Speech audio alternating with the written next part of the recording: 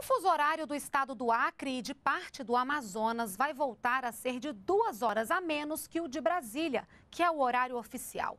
A presidenta Dilma Rousseff sancionou hoje a lei que traz essas mudanças. Os novos horários começam a valer a partir do dia 10 de novembro. Desde 2008, o fuso horário dessa região era de apenas uma hora a menos que Brasília.